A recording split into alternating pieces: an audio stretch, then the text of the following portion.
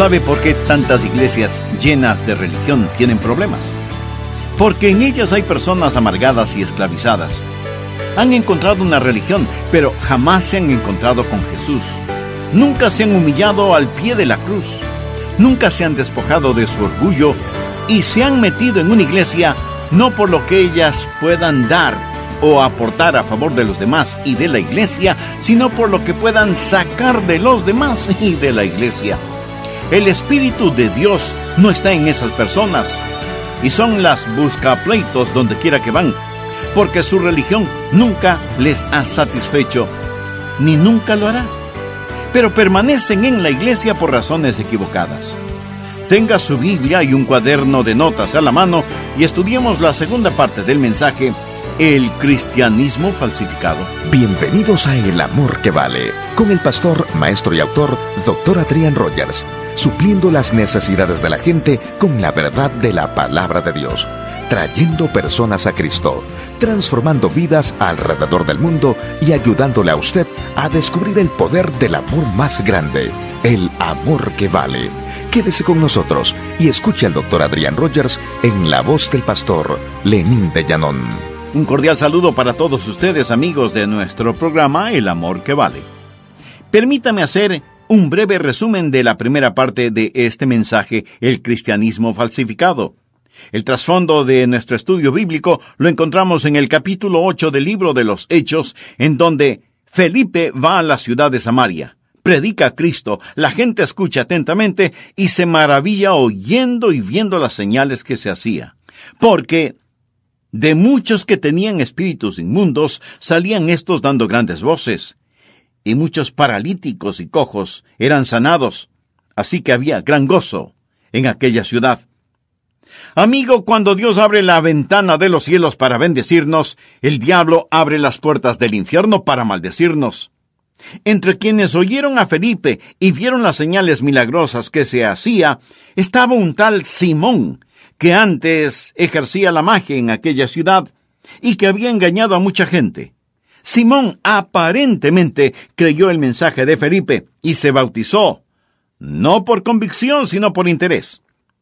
Hay tres cosas que debemos aprender acerca del cristianismo falsificado. Primero, no hay que dejarse deslumbrar por la fuerza satánica de la religión falsa. Simón fue un hombre que usaba la magia, y magia es otra palabra para hechicería. De paso diré que la hechicería está más viva que nunca en todo el mundo, y aunque usted no lo crea, está presente aún en las iglesias. Y mucha gente está deslumbrada más por la magia que por el maestro. Segundo, no hay que dejarse engañar por la fe superficial de la religión falsa. Cuando Simón vio que por la imposición de las manos de los apóstoles se daba el Espíritu Santo, les ofreció dinero diciendo, Dadme también a mí este poder. Simón no fue un verdadero creyente. Cree en los milagros, no en el Maestro. Es crucial el entender que lo que une a la mayoría de las personas que se identifican como creyentes nacidos de nuevo, es la declaración de haber tenido una experiencia personal que ha transformado sus vidas. Usted nace de nuevo debido a ciertos sentimientos y emociones y experiencias. No porque cree en un conjunto particular de doctrinas o porque comparta ciertas creencias sobre asuntos morales. Los creyentes nacidos de nuevo más y más están siendo parte de la corriente principal en nuestro país. Una tercera parte de los 77 millones de los bebés de la explosión infantil se llaman a sí mismos creyentes nacidos de nuevo y creen que han hecho una decisión espiritual que es correcta para ellos, aunque no necesariamente para los demás. La mitad de ellos afirma que las varias religiones del mundo son igualmente buenas y verdaderas, y mientras más jóvenes son estos creyentes nacidos de nuevo, lo más seguro es que digan eso. Una tercera parte de los creyentes nacidos de nuevo dicen que creen en la reencarnación y la astrología. ¿Qué es lo que está diciendo este artículo? Que hay personas que dicen, oh sí, yo soy un creyente. pero no creen necesariamente en las doctrinas de la Biblia. No creen necesariamente que Jesús sea el único camino al cielo. Creen en la astrología, en la reencarnación. Todas estas cosas están enfáticamente en contra de lo que enseña la palabra de Dios. Hoy tenemos una generación de personas que son muy espirituales, y esto entre comillas, pero que no creen en la fe que ha sido una vez dada a los santos. Ahora, Dios me ha puesto aquí para que le diga que es mejor que usted se aferre fuertemente a la palabra de Dios y a la verdad de Dios. Miles de listas en las iglesias están infladas con personas morales que han tenido alguna experiencia espiritual, pero que nunca han nacido de nuevo. Simón el mago dijo que creía. Pero Felipe le dijo, no tienes tú parte ni suerte en este asunto, porque tu corazón no es recto delante de Dios. ¿Ha tenido usted alguna experiencia, algo que usted llama haber nacido de nuevo? Suponga que llega al final de su vida. Suponga que está frente a Dios y que Él le pregunta, ¿por qué debo dejarte entrar en mi cielo?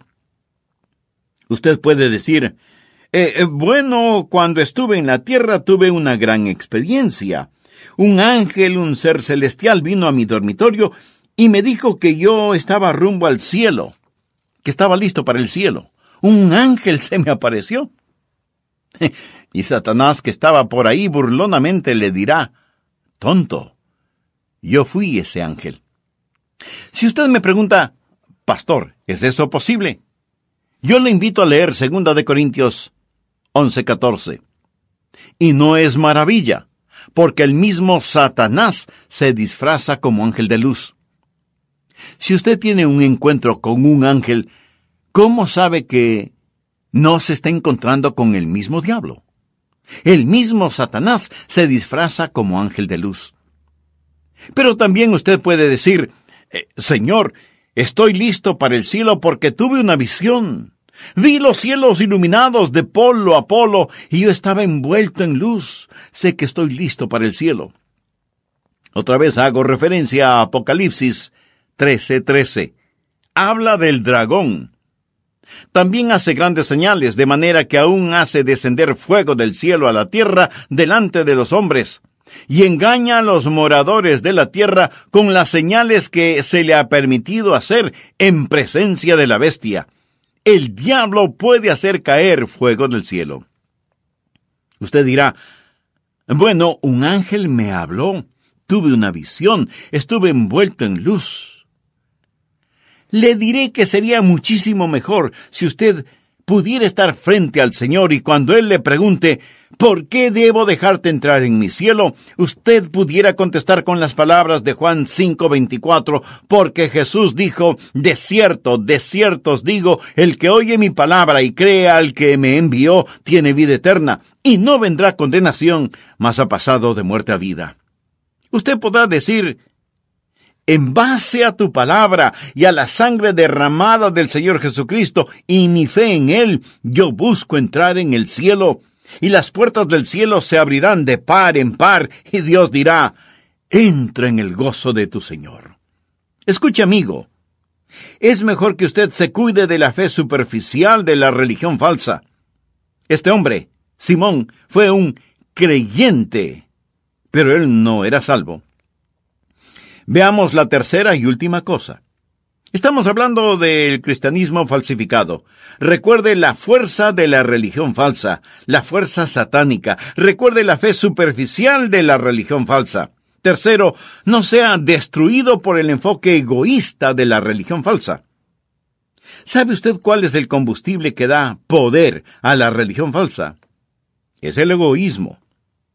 Usted no tiene que pensar demasiado leyendo la historia para ver que Simón estaba lleno de sí mismo. Su enfoque total era el mismo. Leamos los versículos nueve del capítulo ocho de los Hechos. Pero había un hombre llamado Simón, que antes ejercía la magia en aquella ciudad y había engañado a la gente de Samaria. Ahora, note lo siguiente. haciéndose pasar por algún grande. Vayamos al versículo 14.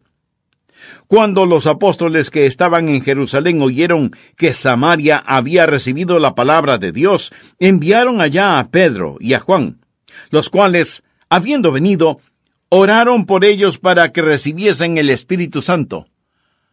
Por favor, tome nota del versículo 18. Cuando vio Simón que por la imposición de las manos de los apóstoles se daba el Espíritu Santo, les ofreció dinero, diciendo, Dadme también a mí este poder, para que cualquiera a quien yo impusiere las manos reciba el Espíritu Santo. Este era un hombre lleno de sí mismo. Escuche, ¿qué es ser egocéntrico? Déjeme darle una palabra sinónima. Orgullo. ¿Sabe usted qué es lo que hizo al diablo, diablo? La egolatría. Lo que le hizo al diablo, diablo, fue el orgullo. Anote el margen Isaías 14, versículos del 12 al 14. Isaías está hablando de Lucifer, el diablo, y esto es lo que dice. ¿Cómo caíste del cielo, oh lucero, hijo de la mañana? Cortado fuiste por tierra, tú que debilitabas a las naciones, tú que decías en tu corazón, subiré al cielo, en lo alto, junto a las estrellas de Dios, levantaré mi trono, y en el monte del testimonio me sentaré a los lados del norte, sobre las alturas de las nubes subiré, y seré semejante al Altísimo. Cinco veces dice, lo haré, lo haré, lo haré, lo haré, lo haré. ¿Qué es lo que nos enseñó Jesús a orar? Hágase tu voluntad. ¿Qué es lo que Satanás dijo? No tu voluntad, sino mi voluntad sea hecha. Toda religión falsa es ególatra. Se enfoca en sí misma. ¿Cómo piensa usted que Satanás logró que Eva tomara la fruta prohibida? Él apeló a su orgullo. Le dijo, serás como Dios. Puedes ser como Dios. Toda religión que es una religión falsa Anótelo en forma clara y sencilla. Se enfoca en sí misma. En 1 Timoteo 6.3, Pablo le habla a Timoteo acerca de la verdad y la sana doctrina y le dice, si alguno enseña otra cosa y no se conforma a las sanas palabras de nuestro Señor Jesucristo y a la doctrina que es conforme a la piedad, ahora note el comienzo del versículo 4, está envanecido. ¿Qué es lo que motiva al liberalismo en los seminarios? Orgullo. ¿Qué es lo que impide creer en la palabra de Dios? Orgullo. ¿Qué hizo al diablo? Diablo. El orgullo. ¿Cuál es la raíz, el combustible, la fuente de toda religión falsa? El enfoque en uno mismo es egoísmo, el orgullo, sin ninguna sombra de duda. Por lo tanto, si usted quiere lo real, lo verdadero, vaya a la palabra de Dios, deje su intelecto, despójese de su orgullo y pida a Jesucristo misericordia. Es obvio que Simón estaba en esto, no por lo que podía él dar, sino por lo que podía conseguir. Leamos nuevamente Hechos 8, versos 19 y 20. Dadme también a mí este poder para que cualquiera a quien yo impusiere las manos reciba el Espíritu Santo. Entonces Pedro le dijo, Tu dinero perezca contigo, porque has pensado que el don de Dios se obtiene con dinero. La religión falsa y la religión igólatra traen dos cosas. Le diré que su raíz es el orgullo. Déjeme decirle su fruto. ¿Quiere saber cuál es el fruto de toda religión falsa? Bien se lo voy a mostrar. En el versículo 23, Pedro le dice a Simón, porque en hiel de amargura y en prisión de maldad veo que estás. Es un buen versículo. Aprenda esto acerca de la religión falsa. Su fruto es amargura y esclavitud. La palabra hiel significa veneno. La religión falsa es un veneno. Pedro dijo, Mira, Simón, Voy a diagnosticar tu corazón. Estás en amargura y en esclavitud. Percibo en ti amargura y esclavitud, porque tu corazón no es recto delante de Dios. Amargura y esclavitud. Eso es tan cierto. ¿Sabe por qué tantas iglesias tienen problemas? Porque hay personas amargadas y esclavizadas. Ellas han encontrado religión, pero no se han encontrado con Jesús. Nunca se han quebrantado al pie de la cruz, nunca se han despojado de su orgullo, han venido a la iglesia no por lo que ellos puedan dar, sino por lo que puedan sacar. Nunca se han encontrado con Jesús, el Espíritu de Dios no está en estas personas y son los buscapleitos donde quiera que van, porque su religión nunca les ha satisfecho ni nunca lo hará. Están desilusionados, y tienen deseos no satisfechos y permanecen por razones equivocadas y nunca, nunca, nunca sentirán satisfacción. Donde quiera que van, son como Simón, llenos de amargura y esclavitud. Son los que hacen los problemas en las iglesias. Ahora, aun en su pretendido arrepentimiento, este hombre es egoísta. Pedro le acaba de decir que está en prisión de maldad. Y note lo que este hombre responde. Respondiendo entonces Simón dijo, Rogad vosotros por mí al Señor, para que nada de esto que habéis dicho venga sobre mí. Pregunto, ¿por qué no oró él mismo? Pues porque no conocía al Señor. Rogad vosotros por mí al Señor, para que nada de esto que habéis dicho venga sobre mí. Él no dijo, Oren por mí, para que tenga un corazón recto delante de Dios. No. Todo lo que está haciendo es tratando de escapar de los problemas y dificultades. No hay ningún cambio en el corazón de este hombre. No hay ningún cambio en la vida de este hombre. Es egoísta aún en su arrepentimiento. ¿Sabe usted cuál es la diferencia entre un genuino hijo de Dios y un inconverso cuando pecan? El inconverso teme las consecuencias de su pecado. La persona salvada tiene un corazón quebrantado porque ha contristado el corazón de Dios. No solo ha transgredido la ley de Dios, sino que ha quebrantado el corazón de Dios. Y eso le entristece. Pero la persona inconversa dice, Hombre, estoy en problemas. Buscaré a un psicólogo, a un consejero, o a un pastor, y le diré, Ore por mí, ore por mí, pastor. Mi esposa me abandonó. Ore por mí por esto. Ore por mí por aquello. Yo no quiero estos problemas. Amigo, lo que necesitan es a Dios. Toda religión falsa es egoísta. Hay una fuerza satánica, hay una fuerza superficial y hay un enfoque egoísta de la religión falsa. Quiero decirlo una vez más, el diablo no está opuesto a la religión. Él está hasta la coronilla en esta. Será un gran día en todo el mundo cuando la gente deje de aguantar la religión y comience a gozar de la salvación, viviendo y viniendo al conocimiento del Señor Jesucristo. Una mujer estaba en su casa, alguien golpeó la puerta, ella la abrió, y ahí estaba un hombre que le preguntó, Señora, ¿conoce usted a Dios? Ella retrocedió sorprendida y confundida, vaciló, tartamudeó, se desconcertó y finalmente cerró la puerta. El hombre inclinó su cabeza y se marchó. Más tarde, cuando llegó su esposo, ella le dijo, eh, Querido, quiero contarte lo que pasó hoy. Un hombre llamó a la puerta y cuando la abrí, él me preguntó si conocía a Dios. Y yo no supe qué responder y le cerré la puerta. Lo siento. Quisiera encontrarle para disculparme. Y el esposo contestó, ¿Disculparte? Debías haberle dado con la puerta en la cara. ¿Qué derecho tenía para hacerte esa pregunta? ¿Por qué no le dijiste que somos miembros de la iglesia más grande e importante de esta ciudad? Y ella dijo, pero él no me preguntó eso, él me preguntó si conocía a Dios. Entonces, ¿por qué no le dijiste que somos personas respetables, tenemos una buena reputación y nos conocen muy bien en la comunidad? Querido, él no me preguntó nada de eso, solo me preguntó si conocía a Dios. Y eso es lo que deseo preguntarle hoy. No le preguntaré si es miembro de una iglesia evangélica, ni qué es lo que la gente piensa de usted.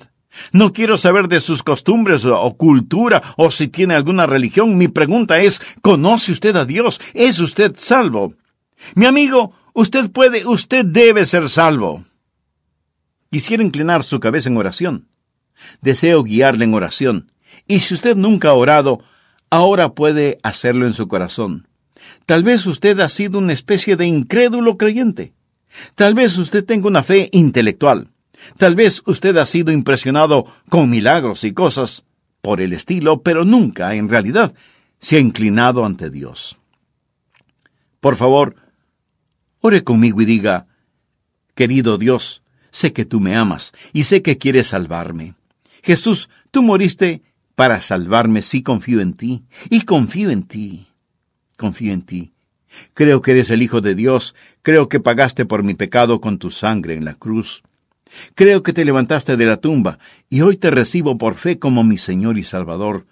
Te pongo en el trono de mi vida, Señor Jesús, ahora mismo. Ven a mi corazón, perdona mis pecados, límpiame, sálvame. Sálvame, Jesús. Amigo, se lo pidió de todo corazón. Entonces ahora dígale, Gracias por perdonarme, lo recibo por fe, ahora tú eres mi Señor, mi Salvador y mi Dios. Viviré para ti el resto de mi vida, no para ser salvo, sino porque ya soy salvo. Recibo la salvación como un regalo, preparándome para servirte el resto de la vida que me concedas. En tu nombre lo oro. Amén. Si usted tomó esta importante decisión, en forma muy cordial le invito a que nos escriba. Deseamos conocerle en forma más personal. Su carta, además, nos dará la oportunidad de orar por usted, para que Dios le bendiga en su nueva vida como creyente en el Señor Jesucristo.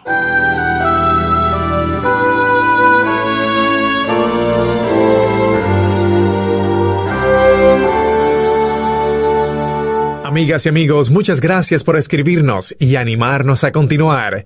Y en elamorquevale.org puede volver a escuchar el mensaje de hoy. Reitero nuestra información. Nuestro número estadounidense es el 901-382-7900. Repito, 901-382-7900. O escríbanos a El Amor que Vale P.O. Box 38400, Memphis, Tennessee 38183, Estados Unidos. Gracias por escuchar hoy al Dr. Adrián Rogers. Soy Irving Ravelo.